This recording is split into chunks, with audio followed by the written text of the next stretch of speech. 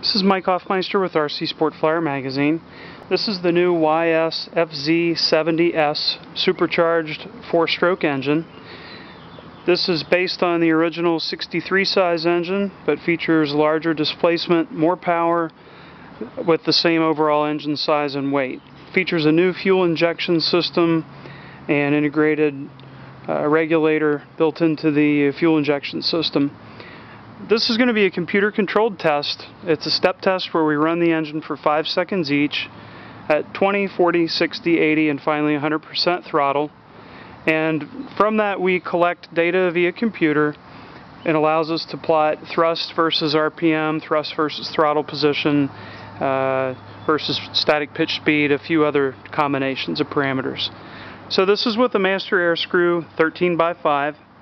With this propeller we get about a 2200 RPM idle, 12,800 RPMs uh, max at max throttle, and it produces about 10 and a half pounds of thrust, which is pretty remarkable for this size engine.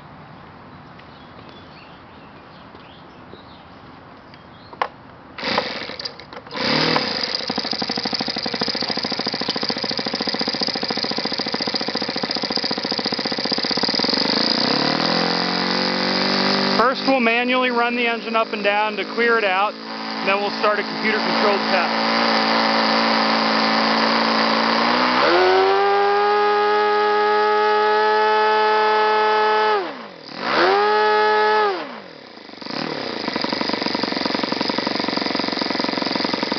Now we're going to switch over to PC control.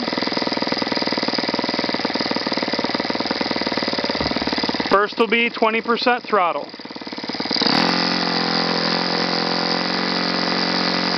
Then 40%, 60%, 80%,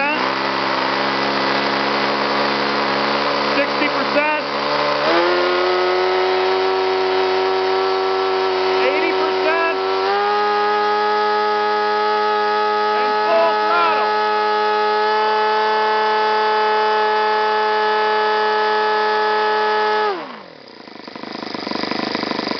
Now we're back at idle, and we'll go ahead and shut the engine down.